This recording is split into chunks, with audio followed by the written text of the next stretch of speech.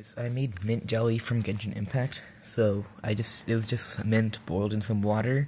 I added a bit of sugar and some food coloring, and I got this. It's pretty good. And I, I so I made three.